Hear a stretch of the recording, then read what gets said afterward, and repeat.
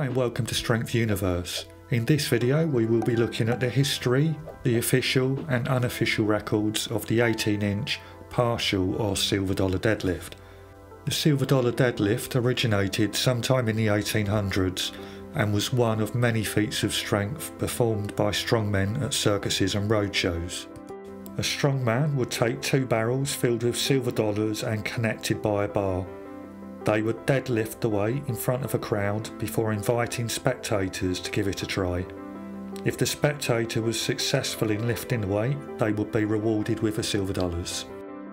The first record I can find of the silver dollar deadlift being used in international competition was at the 1980 World's Strongest Man final, where Bill Kazmaier set an initial world record of 437 kilograms or 956 pounds and would go on to take the first of three consecutive World's Strongest Man titles. Cindy now will need to encourage Larry to lift this next weight as we see the silver dollars going in and $17,000 or 956 pounds to lift. So strong, so strong. And really it's so easy, isn't it? Bill Kazmaier wins again. The silver dollar deadlift made its return for the 1981 World's Strongest Man, but on this occasion no world record was required for Bill Kazmaier to take the win. The event returned again for the 1982 World's Strongest Man final, but on this occasion Bill Kazmaier had to share the record with Ernie Hackett, who both managed to lift 1,055 pounds or 478 kilograms. turning his back the tumult behind him. Bill Kazmaier gets.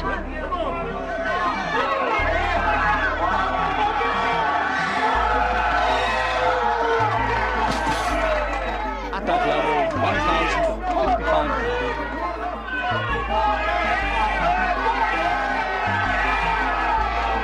Knock the knees, not quite so convincingly, but he made it.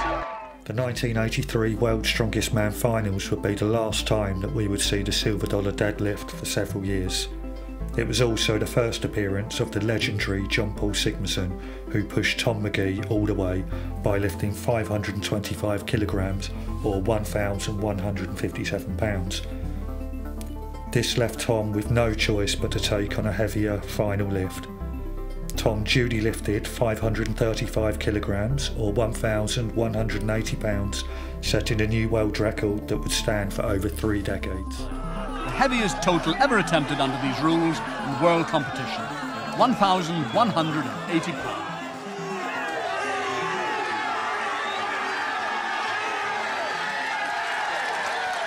And he's done it. We've witnessed history being made here.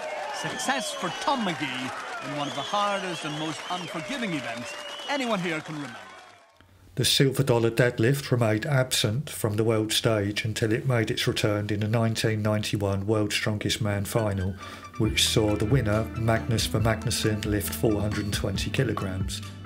The event then returned six years later for the 1997 World's Strongest Man final, which saw Jouko Ahola take the win with a final lift of 435 kilograms an impressive lift, but still some way off from the world record that had now been set 14 years earlier.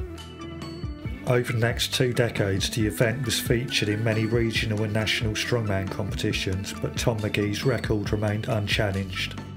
In 2017, shortly after winning the World's Strongest Man, Eddie Hall participated in a marketing stunt for the launch of his new book Strongman and unofficially set a new world record in the silver dollar deadlift by lifting an unverified 536 kilograms or 1,182 pounds.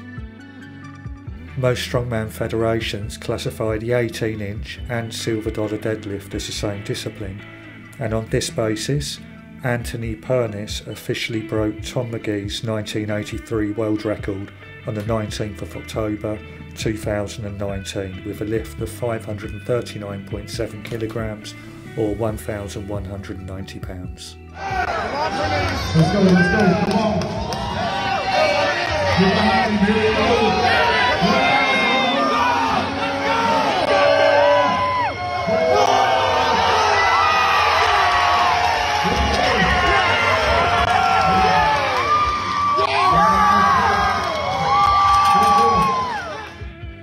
7th of May 2020, Britain's strongest man, Adam Bishop, set an unofficial world record with a lift of 545 kilograms or 1201 pounds.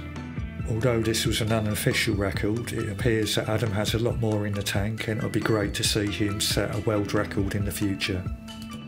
Anthony Pernice returned to the Strongman Farm Record Breaker event to break the record he set a year earlier.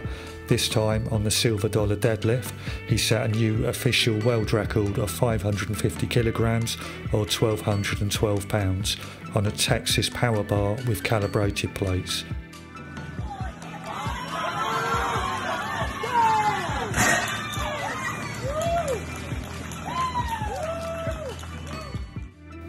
Although I am including Alexei Novikov's 18 inch deadlift from the 2020 World's Strongest Man, I don't believe it has a legitimate right to be classified as an official world record.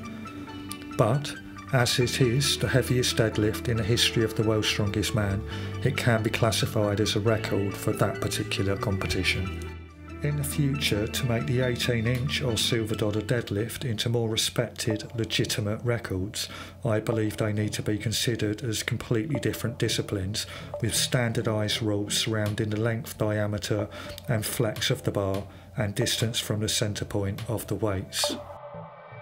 If you enjoyed this video, please support my channel by hitting like and subscribing and please leave a comment below letting me know what you think about the silver dollar deadlift. Thank you.